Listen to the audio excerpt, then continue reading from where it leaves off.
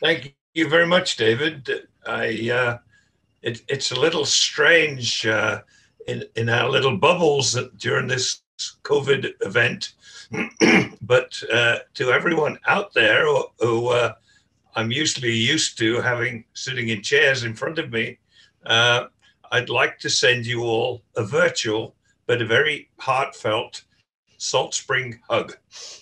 I hope you all got it.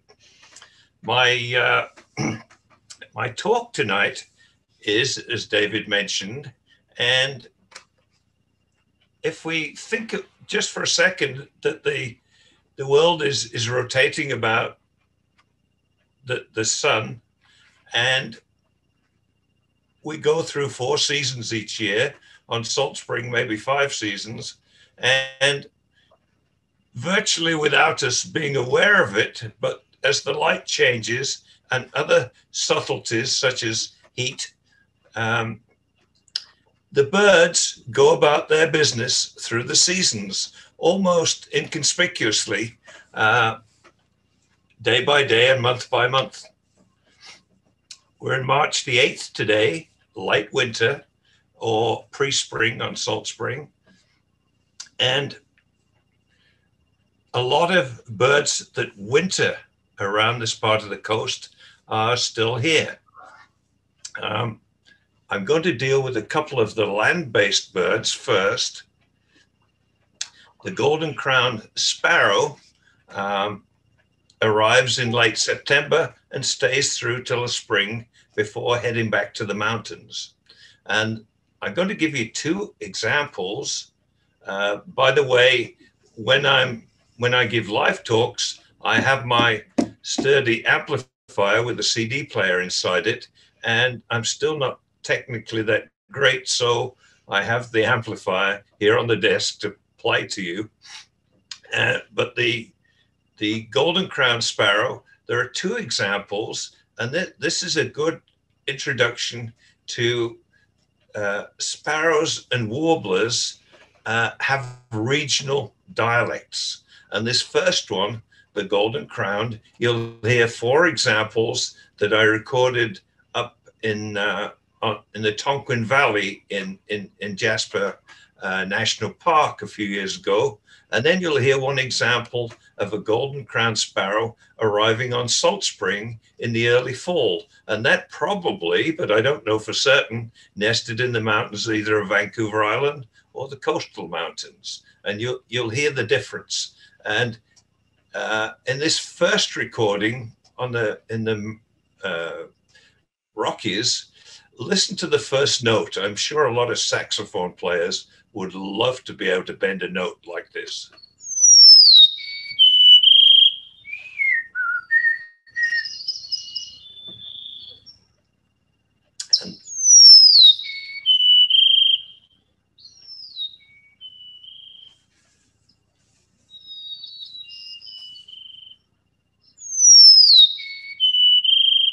Now we're coming to the Salt Spring example.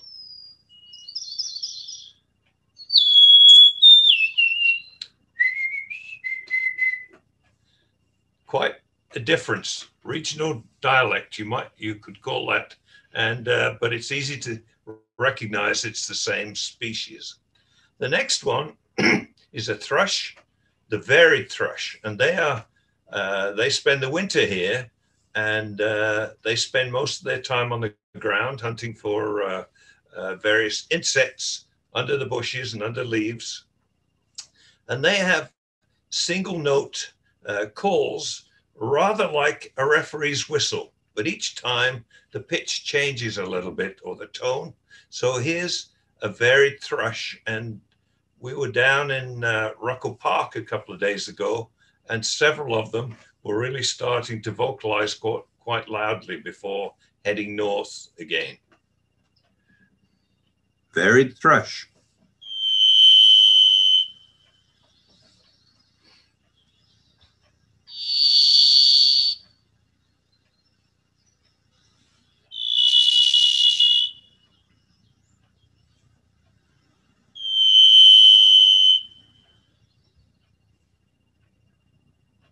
American widgeon. So those were the two land based birds. We'll move on to the water based birds now, and there are many more of them in this part of the coast that arrive. They start in late September, and their, their peak arrivals uh, occurs in November. And uh, you'll find mew gulls, loons, uh, surf scoters, bufflehead, common and Barrow's goldeneye, long-eared, uh, sorry, long-tailed duck, mallard, horned grebe, and, and many others. I'm going to play you a couple of examples. Uh, the first one being the American widgeon. And uh, this one, uh, I always think the male sounds rather like uh, a rubber ducky, a squeaky kind of sound. The harsh sound is the female that sounds more like a duck.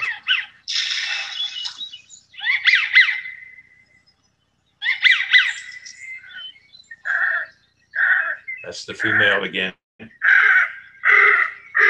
Female in flight going overhead.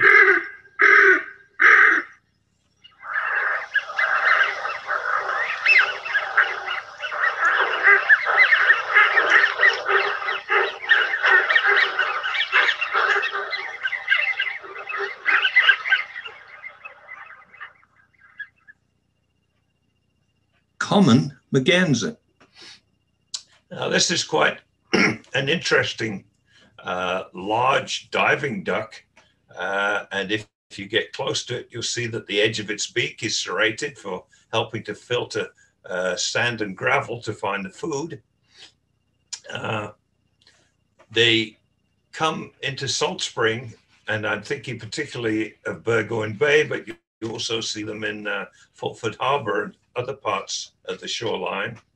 The First Nations uh, have for a long time called Burgoyne Bay Quaquam because the that's the the name for a female merganser, and they've been uh, arriving in that bay for, probably for thousands of years and had a name long before we gave them a name. And Heather and I do a, a coastal water bird watch uh, every month through the winter at Burgoyne Bay. And um, we find that most of the species start arriving in November and peak in January. But their numbers vary a lot because they don't always come to the same place. But uh, to give you some idea, the last three years, uh, the mergansers in 2019, uh, we counted 42 in January. Last year, a tremendous year, there were 190, and that was terrific in, in Burgoyne Bay. And then this year, there were four. So they vary a lot uh, over the years. Uh, we didn't consider it was a, a, serious problem this year, only having four. Uh, we'll wait for a few more years and see how the numbers do in the summertime, they uh, they head, uh, or in the spring, they head north to the boreal forest, where they nest uh, in trees, in ca- tree cavities, and spend a lot of time on the water to feed and to uh, bring up their young.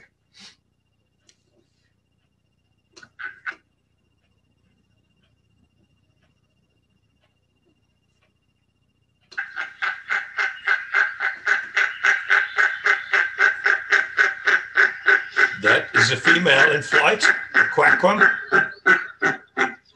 She's coming into land on the water.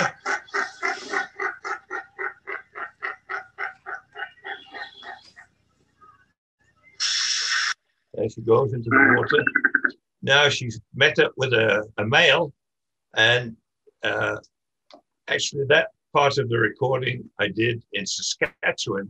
This next part is in actually in Manitoba. And it was a quiet, a very quiet dirt road that led north from Thompson to a little place called um, Gillam on the Nelson River. Very, very quiet, beautiful for recording, no extraneous noises. Uh, but that particular road and that area became somewhat infamous uh, two summers ago when there were some uh, horrible murders in northern BC, and the RCMP tracked the two culprits through to that little road where finally on the Nelson River they uh, committed suicide. But uh, we really we really liked it for its remoteness and its quietness uh, for recording. But here's the rather throaty sound now of the male when a female arrives.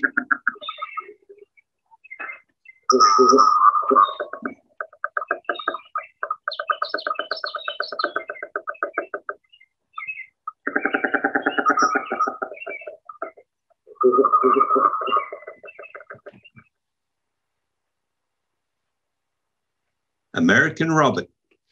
Now, this is a very, I'm going to move on to resident birds, although the robin isn't a great example because they move around quite a lot, but there are always some here on Salt Spring.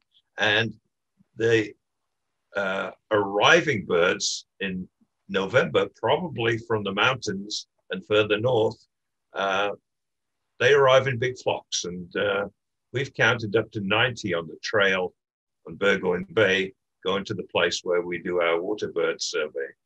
And they've started to sing already this year on uh, March the 8th, uh, the lovely Cheer Up, Cheerily song, and a few contact calls at the end. But they're, uh, because they're so common, we sometimes overlook them. But lovely song, and they've started to sing already this year.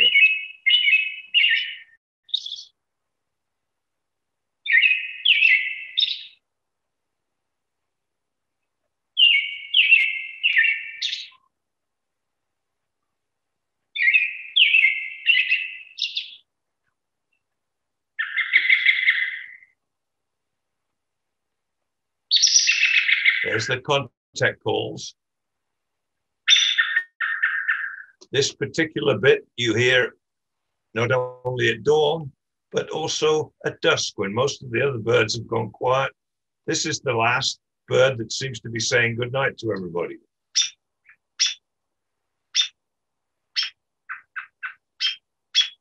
I'm sure some of you are familiar with that sound.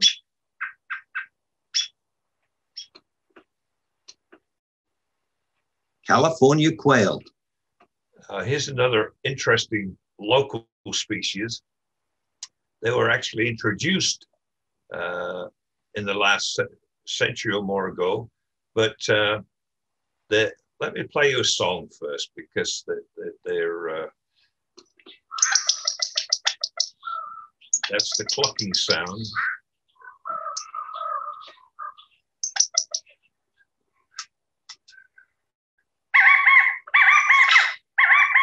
Chicago, Chicago, Chicago.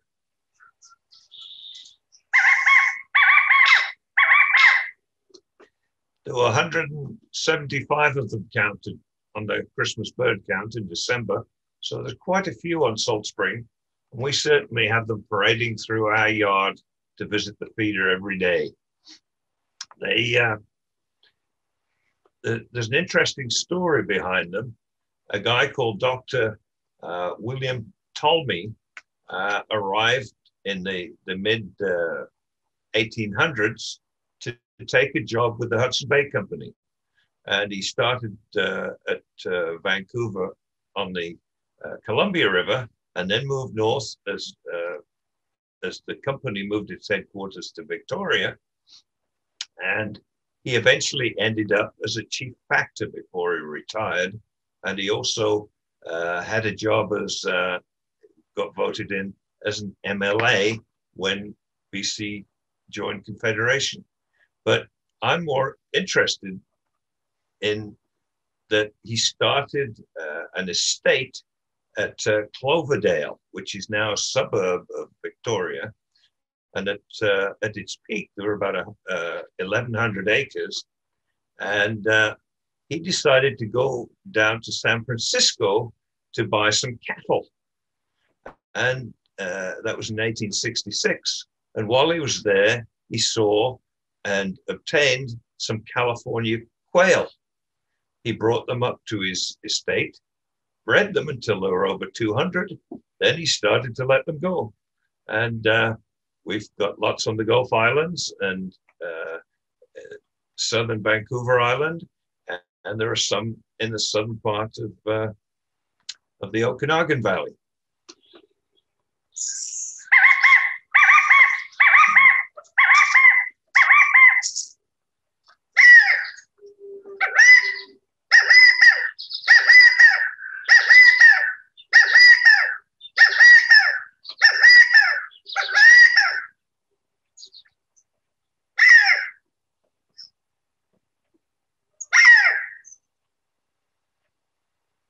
Anna's hummingbird. Another bird that uh, joined us from California. The uh, hummingbirds, as you probably know, have evolved symbiotically with flowering plants, and they go back 28 to 34 million years ago when the, this relationship began as flowers were created and the hummingbirds helping to uh, gaining energy from the from the flowers as well as pollinating the plants. The Anna's uh, is now a year-round resident, and many of you out there, I'm sure, have got uh, uh, regular uh, birds out there visiting your hummingbird feeders. Uh, if you're not sure, an easy way uh, of, of feeding them with your feeders is to think of the digits on your hand four parts water to one part your thumb uh, white sugar. They like sucrose best. And that provides them with with energy. And remember to keep them clean. Um, don't leave them for too long. Uh, mix a good batch, put it in your fridge, and then change uh, the contents of the feeder regularly every few days uh, so that uh, any mites or other tiny critters that get in there can't turn the sugar uh, into fungus. Uh, they start nesting in uh, mating and nesting in December, and they're certainly nesting now, as some of you will know, tiny little nests, and um, they'll have several broods between now and uh, from December through to the spring, and um, give us all lots of pleasure because they, they've really formed a somewhat symbiotic relationship with us as well as the plants uh, and the feeders we put out. And uh, whenever the feeder's empty or it's taken into uh, uh to be filled, and I'm out in the yard, they'll buzz me and let me know uh, where's the food. Uh, so neat little critters, lovely little birds. They're a delight to have around. So here's the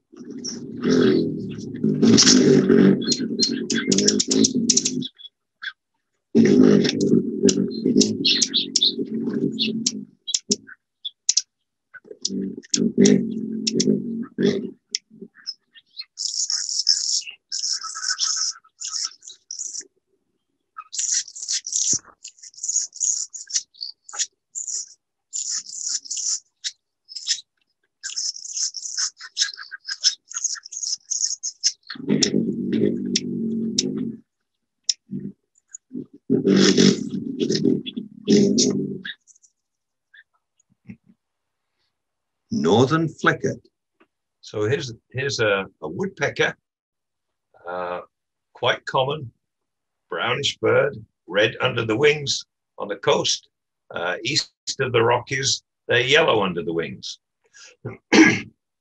they have four distinctive sounds, um, and we'll start with the call with with the song.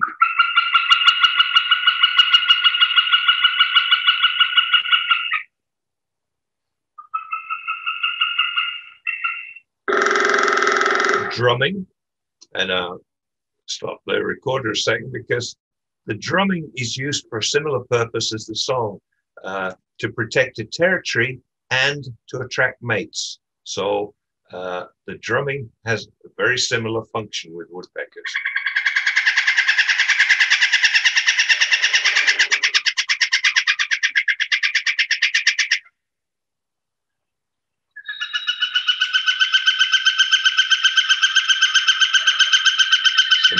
Calls.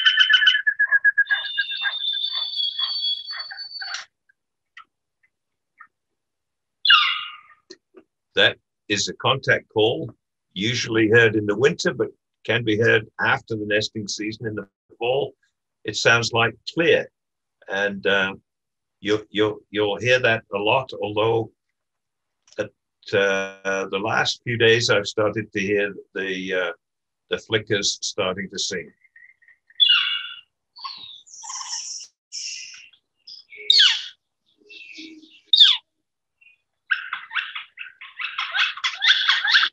Woika, woika, woika. That's a kind of familiar sound that the pair make around the nest site, communicating with each other. Pileated woodpecker. Here's the largest woodpecker in North America and quite common on Salt Spring. It, it has a, uh, pileated, it refers to its crest, and uh, some people refer to it as a paprika mohawk, uh, referring to it like a like a head do. But it's it's a big bird. Uh, this is one of the pairs, and there are several that, that I'm referring to tonight uh, that stick together all the year round. But with the pileated, they cover such large distances uh, that we're not usually aware of both of them at the same time. But people who study them uh, closely say that uh, during the day, they'll cross paths at least once. And uh, if they're on a log or a branch, they'll actually tap bills before they move on. That's the song.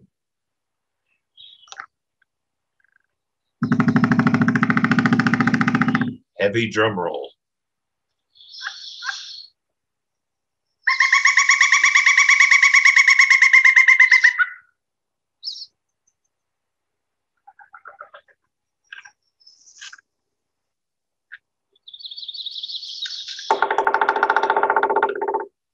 That's And all the woodpeckers do that to communicate between the two woodpeckers.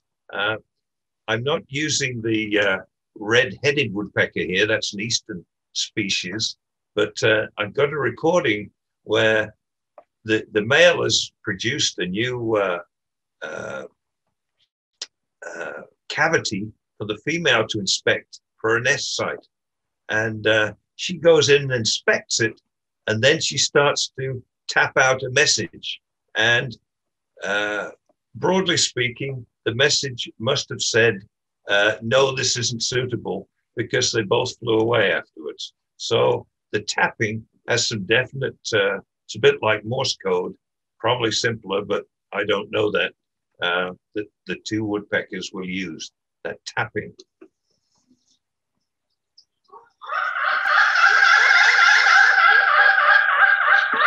That's the woika woika sound that the pileateds make.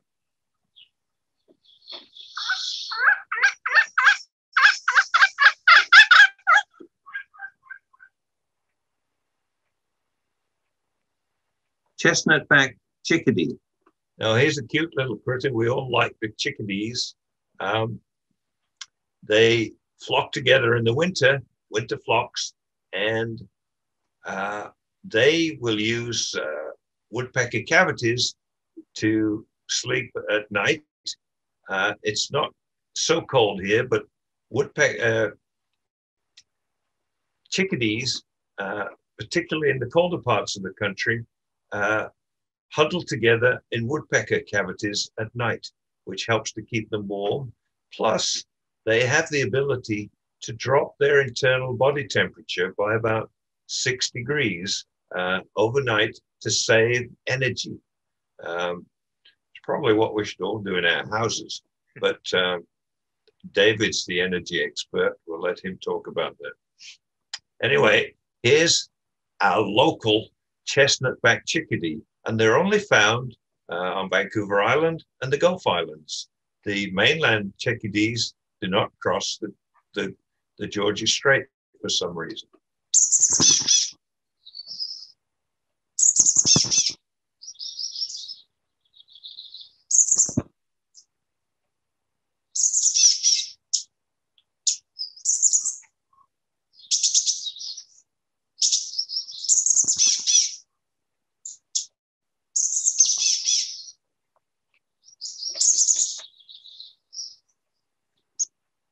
Steller's Jay. Uh, this is uh, quite a raucous bird, a big member of the, of the corvid family, and uh, it has two typical calls, but it also can mimic.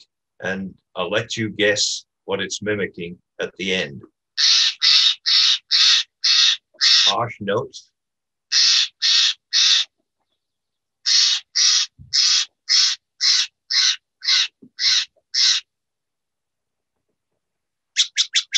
Second, second song will call. I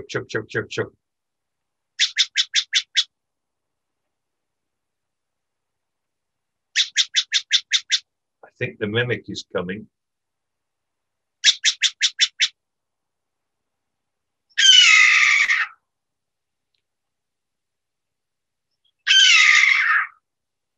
Yeah, that's an imitation of uh, a red-tailed hawk, and uh, all of the jays, the blue jay, the Canada jay, and the Steller's jay, all seem to be able to mimic that particular bird. And it seems to be for some kind of intimidation. Uh, I don't know whether that's really true, but uh, we were having a picnic once, uh, and the jay came very close but wouldn't come to the picnic table and uh, started to do those imitations and did about 14 or 15 of them, one after the other. And we eventually uh, tossed it some food, and uh, that made it quite happy. The dawn chorus is mainly associated with springtime. So, this next one is uh, another member of the corvid family, uh, the American crow. And the version on the West Coast here is somewhat smaller than the crows across the American crows across the rest of the co- continent. We used to, until quite recently, call them the northwestern crow, but they're now American crows. And in the winter, they're starting to uh, look for nest sites again now, by the way. But uh, in the winter, they form together into larger groups. And uh, I've counted as many as oh, 70 together on Salt Spring. But in the lower mainland, where there are many, many more crows, they get together in Burnaby in huge flocks. Um, there's an area around Still Still uh, Creek, Stillwater Creek. Stillwater Creek, thank you, that um, is quite well lit by surrounding uh, high-rise apartments and a Mc- McDonald's. And this is some of the recording I made in that area. However, there are always a few birds vocalizing even in the winter. One remarkable phenomenon is the huge roost of northwestern crows here in the lower mainland. These crows gather around Stillwell Creek, better known as McDonald's. Let's have a listen to these intelligent members of the corvid family.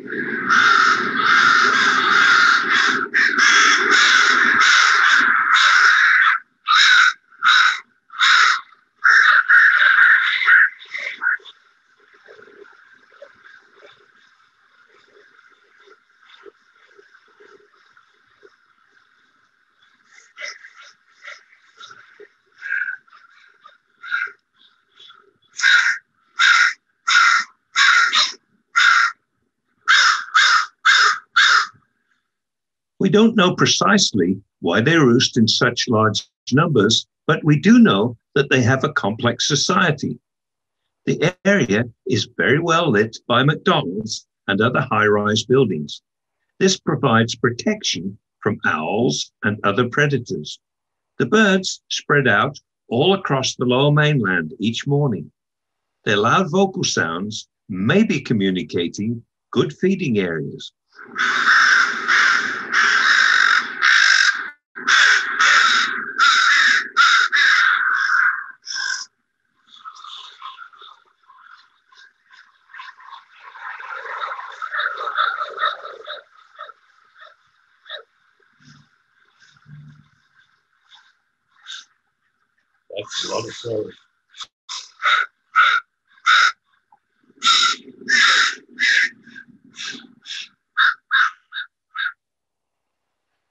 Spotted towhee. The uh, towhees, I haven't heard one trilling yet, but their song uh, uh, fast and slow trills, uh, and they communicate with kind of whiny notes, which I'll play in a second. And these are uh, another species that stick together in pair groups uh, all the year round. And you're usually aware of both towhees uh, communicating with each other in your in your yard. That's the trill. Fast the trill.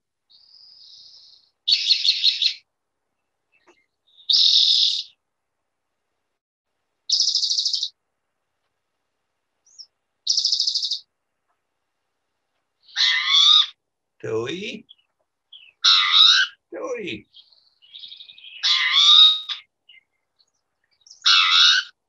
Think you'll all recognize that. That's a harsher long note.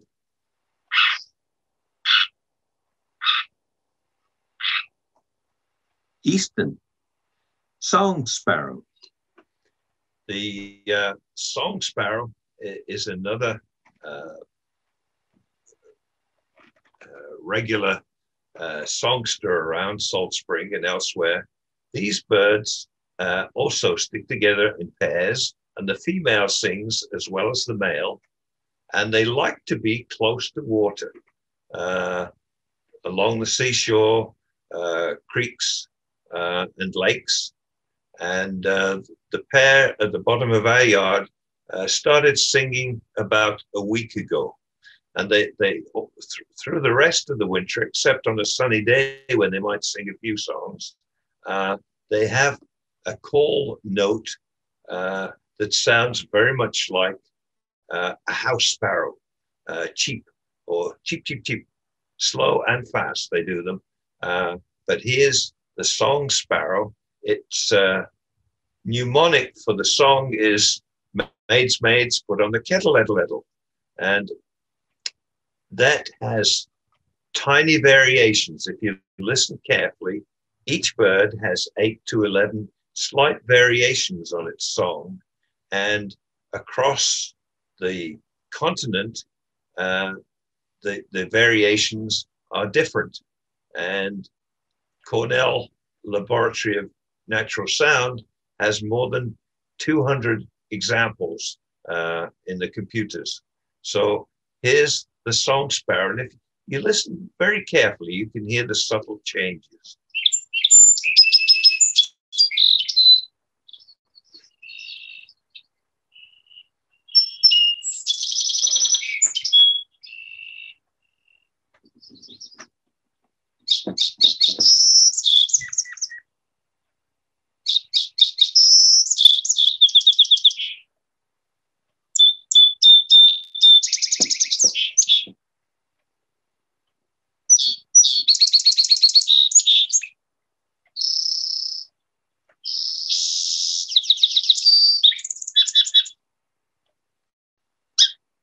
Cheap, cheap contact calls.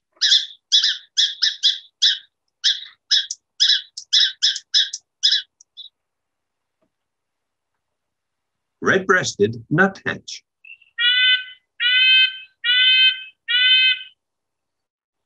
The little tin trumpet bird in the woods. And uh, you can hear this uh, in the winter and in the spring and summer.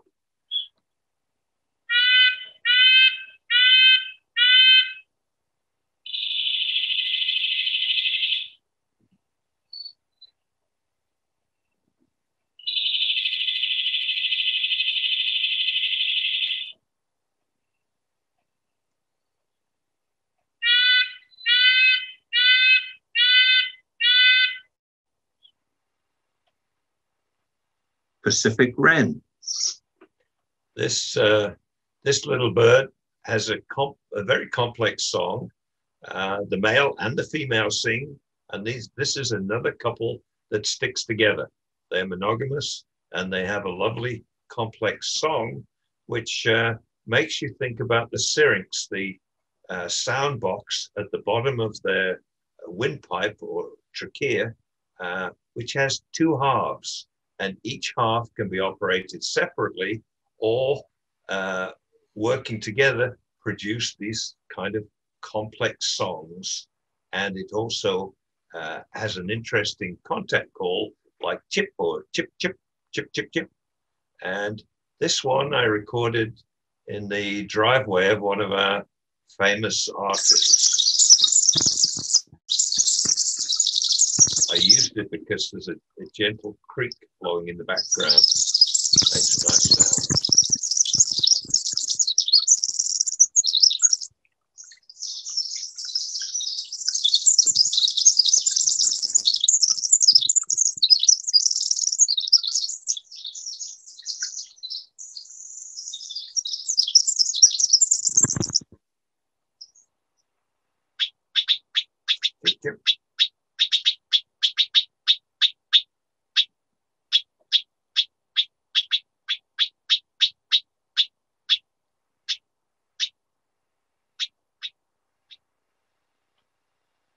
Bewick's Wren.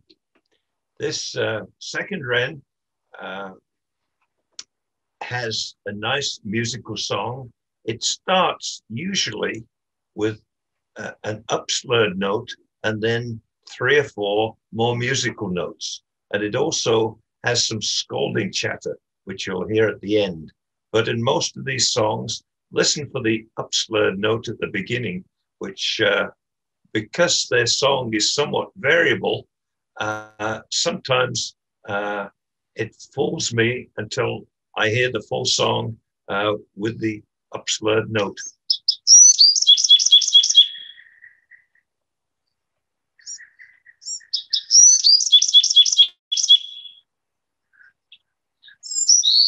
There's a good upswing note.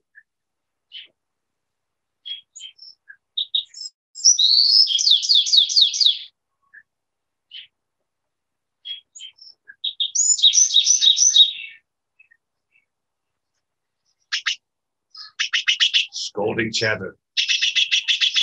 Making all of those sounds at the moment, this time of year.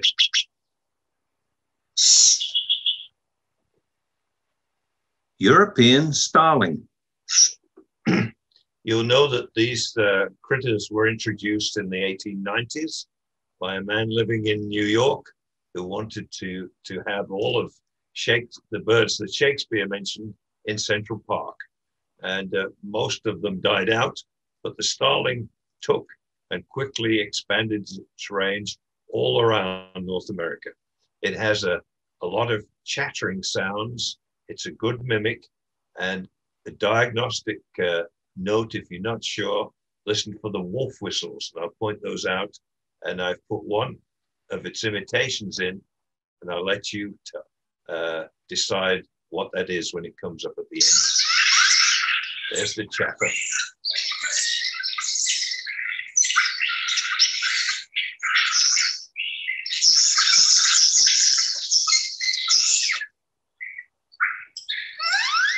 There's a wolf whistle.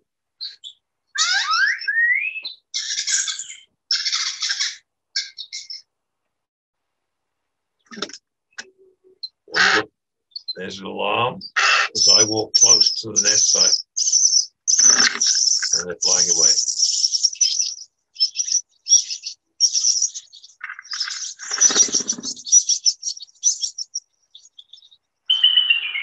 There's the imitation. A bald eagle. I'm sure you all got that one. Red-winged blackbird.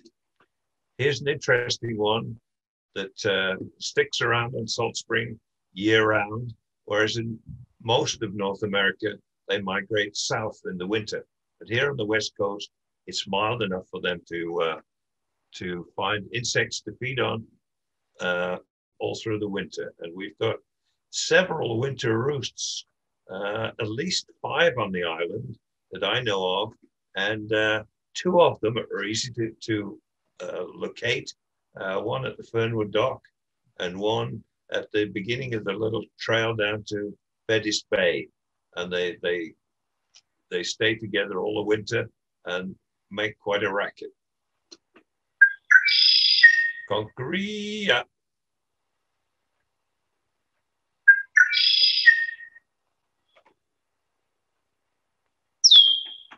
There's a whistle note.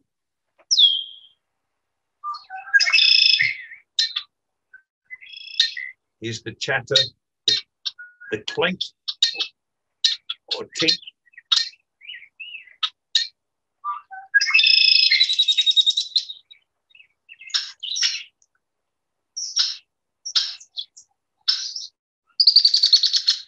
That's a flourish, and it's usually made, but not always, by the female. The, the males have little small uh, territories in the cattails, and if a female leaves his territory for various reasons, she often makes that flourishing sound uh, when she leaves or returns.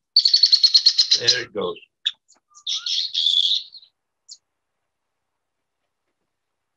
Pine siskin.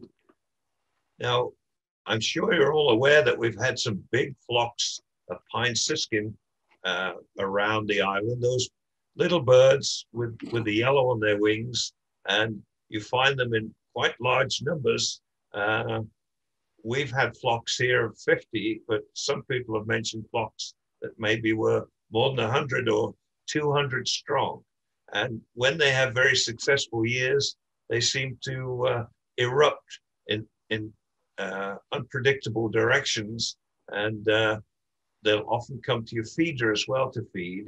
And in addition to the chatter, uh, a diagnostic sound is the uprising slur that the males make, zip. And uh, I've recorded uh, a pair of individuals here so you get the sound before you hear the winter flock. There's the diagnostic sound.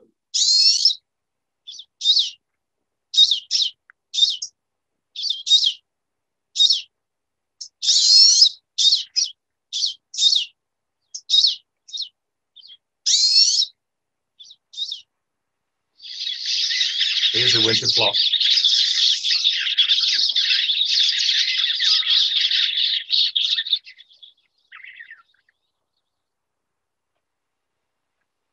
House finch. This uh, this bird has started singing the last week or so, and it has a long, sweet song, but it's it's easiest to recognize when you can pick out the one or two harsh notes that are included at the end. And it's got a little bit of red on its head and chest. Here it goes.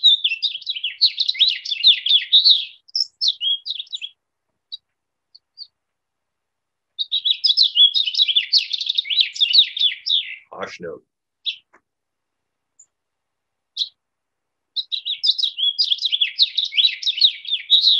Harsh note.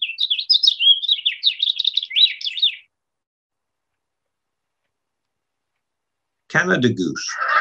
You might wonder why I bothered to put Canada geese in, but not only are they easily to recognize by sound and sight, but most people overlook their habits. And at this time of year, they're pairing off uh, to go and nest. They're one of the early nesters. And um, so you'll see them in pairs and sometimes uh, just one because either the male or the female is going to forage while parent number one or two is looking after the nest site. And that goes on through till May when the young are born and they head to waterways. And once they've reached the water, the young are unable to fly at that point, and the adults also lose their feather. Uh, many of their feathers they they molt, and particularly the, the flight feathers are important. They are no longer able to fly either till about the middle of August. So they stick around. They don't call very much. They stay very quiet in June, July, early August, and uh, ideally they'll be along the shoreline or in lakes where there's overhanging trees. And so they're very inconspicuous. And uh, parent number one will be at the front of a line of little, uh, little geese, and parent number two will be immediately behind them. They'll be looking after them. they're very successful parents. Then they start to fly in August, And after that, they start to join up with other families until they're in flocks of three or four families, and you'll see them flying around again and uh, eating the grass on the golf course and the playing fields and farm fields. Uh, and then all through the winter, they migrate back and forth. Uh, they use uh, shallow waterways uh, like um, uh, the Booth Canal and um, Walker's Hook uh, at night. And very often they'll fly after dark or before dawn. Not always the case. We're always aware of some of them. But if you're out uh, before dawn or after dark, you'll often hear them flying over. They're again quite secretive in many cases, uh, moving to and from uh, their resting places. So they're, they're quite an interesting species. And again, they mate for life. And this bird lives up to 30 years. So it gains a lot of experience of its habitat. Um, and because of the mild climate again, they stay here year round. But in the east or anywhere east of the Rockies, it's not the case. The lakes freeze up, uh, food is scarce, and they migrate south for the winter. And this uh, first part of this recording was a flock returning. Uh, it was on. I was on the banks of the Saguenay River in Quebec, and you can uh, get some idea from the recording that there were at least a thousand of them in this flock heading north.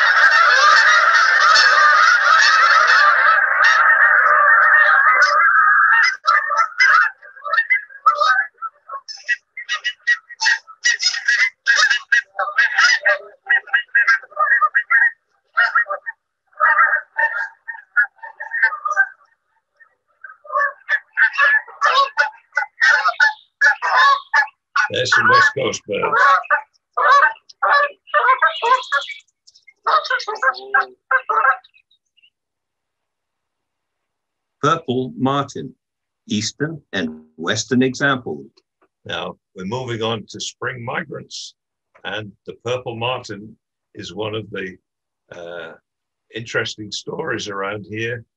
30 years ago, there were perhaps only five pairs left, uh, but with the uh, as most of their natural habitat had been removed, uh, people got together, formed a society, and built nest boxes. In the east, uh, they they nest a little bit more communally in uh, kind of condominium type nest boxes, all within one large box.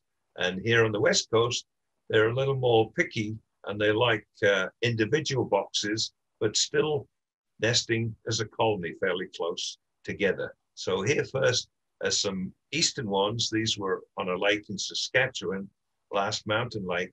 And as you'll hear, they tend to all come out of their boxes more or less at the same time in the morning.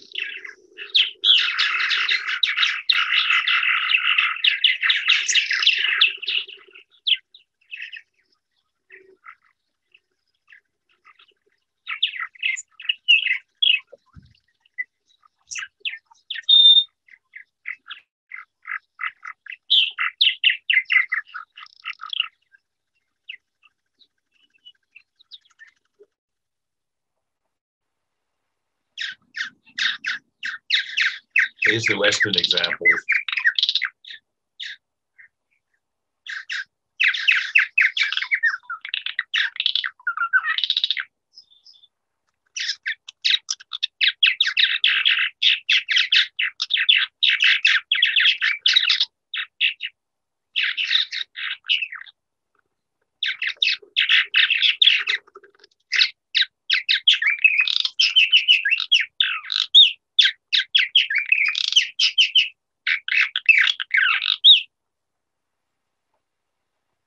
Swainson's thrush.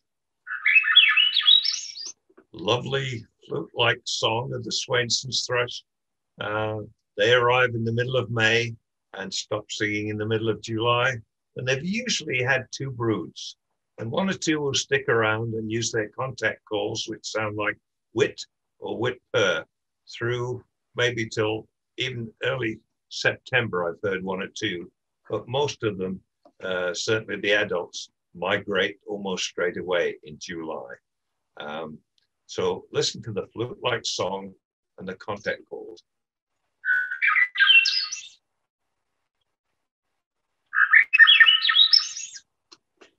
Out of curiosity last May, because we weren't going on a trip, I got up before dawn and counted all the songs for a day through till dusk, and I counted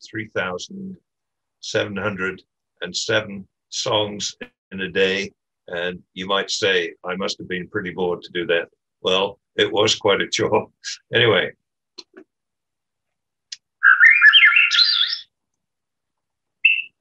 Wit, wit, wit, purr.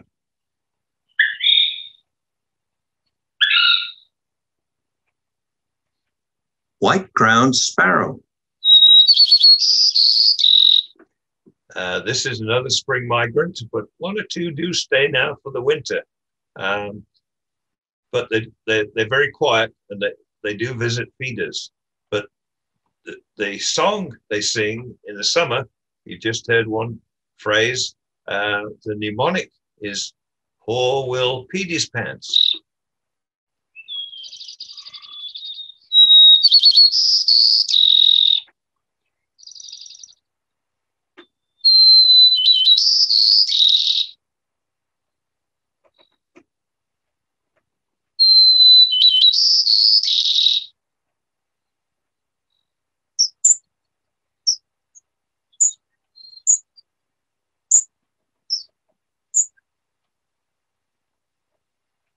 Brown-headed cowbird.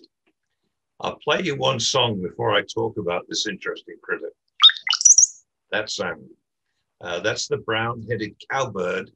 It actually, uh, that song moves through 11,000 hertz uh, of frequency, uh, the widest range that any bird song makes, and it's all within our hearing, although it doesn't sound that far, but it's it's important because of their development.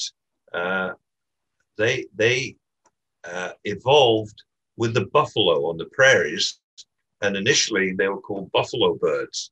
And because they spent their time riding on the back of the buffalo, uh, eating, picking off the insects in the buffalo's fur, the buffalo liked having them around. And then as the buffalo moved through the grass, they disturbed lots of insects that flew up and provided more food for the bufflehead. But because, uh, sorry, the, the, the cowbirds, um, and because the, bu- the, the, the, buffalo were always on the move, uh, the cowbirds no longer could stick around, make a nest, raise the young in one place. And they became uh, I can't say it, parasitizing uh, other bird nests like the cuckoos in Europe. And so uh, on their trip through across the prairies, uh, they'd see a nest and they would pop out. And uh, uh, if the, the female left the nest, they'd drop an egg in and go on their merry way. And sometimes the host birds would raise the young. However, because this evolved over thousands of years, some of the local birds, like uh, say the yellow warbler, uh, when they spotted a cowbird uh, egg, they would build another nest on top and get rid of the cowbird egg that way.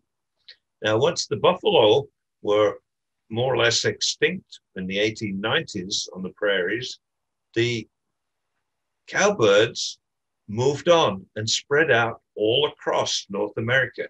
And uh, we've seen them sometimes on horse or cow's backs doing the same kind of thing, but uh, all across the country, the other birds beyond the prairies have not learned a defense mechanism about against the cowbirds. So they've become very successful. Uh, last spring, I remember someone counted 25 of them on reaching Salt Spring one day, and just a day or so later, three of them uh, reached our feeder. And they've become uh, quite a problem in some places. If you're familiar with the Kirtland's warbler in, in uh, northern Michigan, which is a very small population of warblers, between 500 and about 1,600. They fluctuate back and forth. They spend the winter in, uh, in the Bahamas and then fly to northern uh, Michigan. A few occasionally stop in, in southern Ontario, but they have very strict demands. They only nest in young jack pines that are between uh, 12 and 15 feet or uh, four and five meters in height. And the rangers there now have developed some tactics to try and protect this tiny population of warblers. And they uh, burn down the pines in blocks when they get over uh, five meters. And they put out big catch uh, cages for uh, the brown-headed cowbirds. I was, uh, I finally found a, a, warbler to record there, and then I came across these huge cages with two dozen or more cowbirds in them that had been caught, and obviously they were going to be euthanized at some point. But I was quite amazed to, to find a cage with at least 24 cowbirds in it.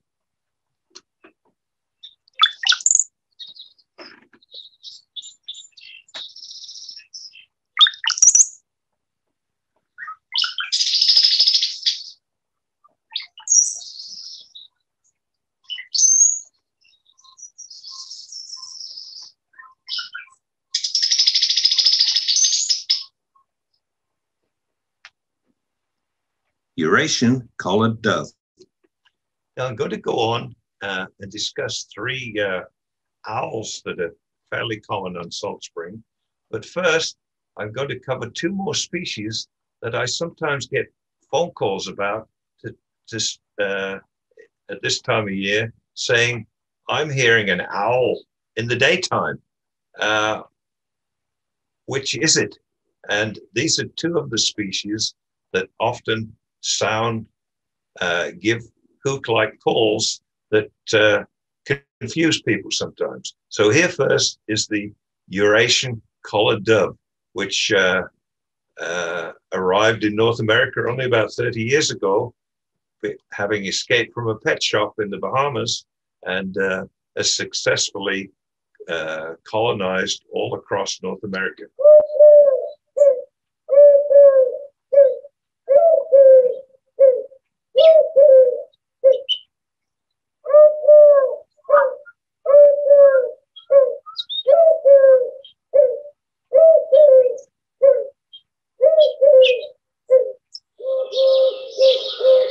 Faster delivery.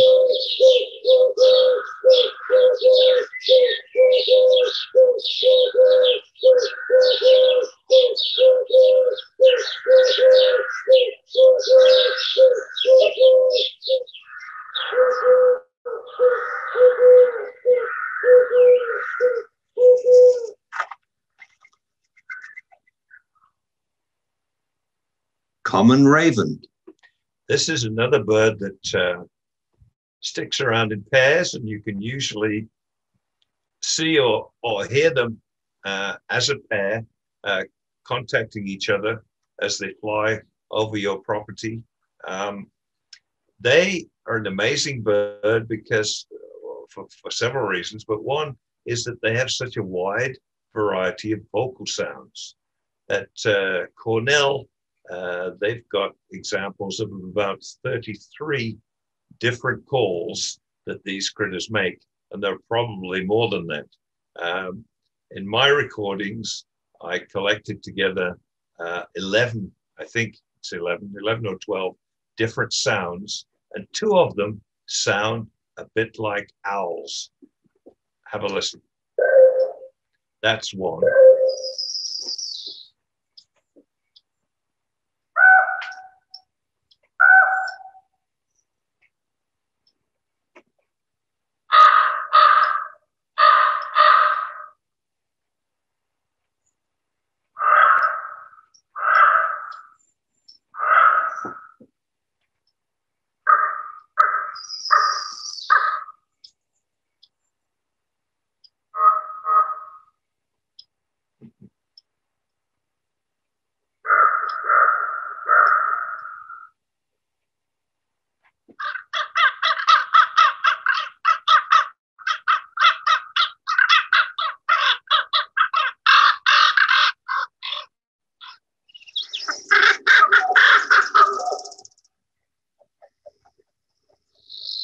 Beat.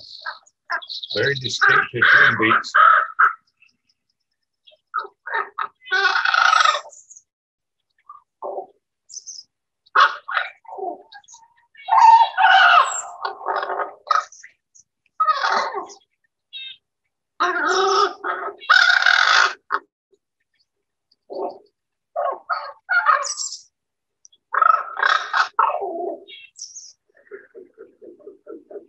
wing beats, quite distinctive. And there's the there's the other sound that sounds like an owl.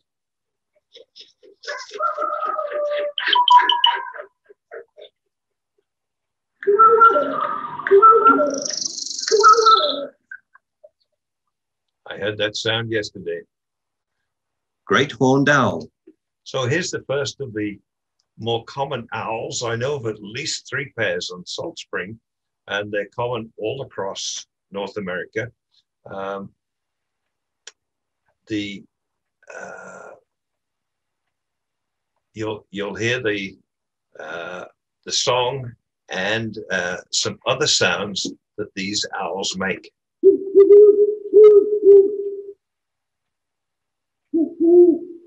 That deeper one is the male. That's a begging call.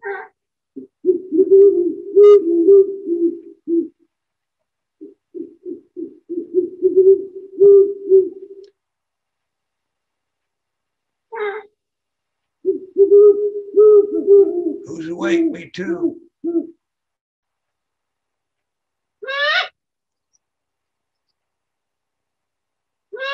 Alarm call by the female. Bill clapping. Bill clapping by the female again. Barred owl. So here's the next one, another fairly common one on Salt Spring. They uh, they used to be confined to the Gulf Coast area of North America, but as land was cleared, they moved around the forest in the eastern seaboard, across the boreal forest, uh, uh, because they need open areas for feeding. Uh, they, they nested trees, but need marshland or grassland to feed to catch small mammals and many other species.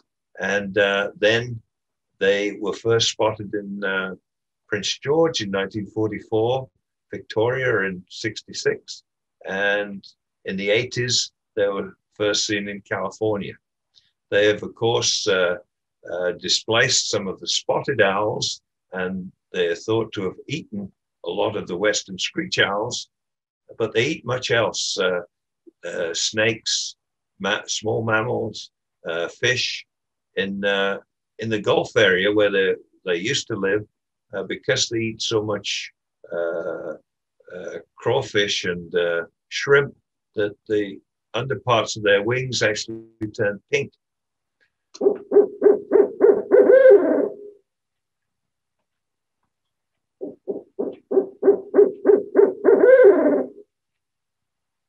Here's the song. Who cooks for you? Who cooks for you all? There's the, the scream.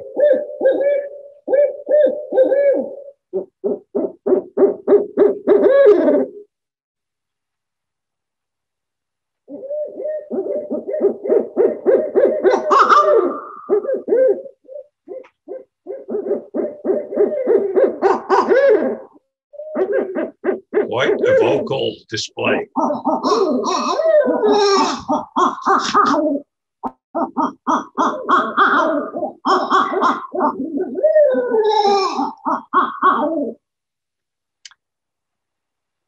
Northern pygmy owl. This last one, a small owl, uh, quite common on Salt Spring. I've recorded them on the Musgrave Landing Road, and I've heard them on Stewart Road and um, um, Beach Road, uh, amongst other places. Uh, they have a simple hoot and uh, they hunt by day and night. And in the daytime, they're hunting songbirds. And you might see them amongst a flock of songbirds, which may turn around and mob.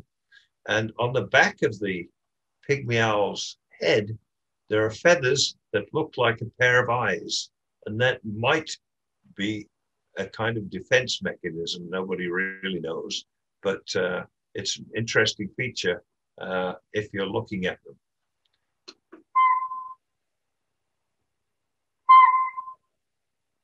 Nighttime.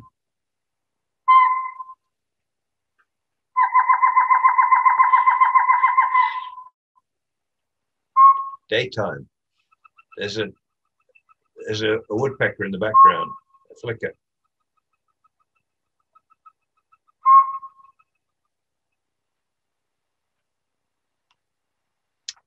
So that's all the critters uh, I've uh, prepared recordings of. The other owls, Golden crowned sparrow. Sorry, I better turn him off. Um, or you'll have to stay for another hour. uh, the, the other owls you might find on Salt Spring that are more difficult to find are the barn owl, western screech, and the saw-whet. But I think, I think that's it, David.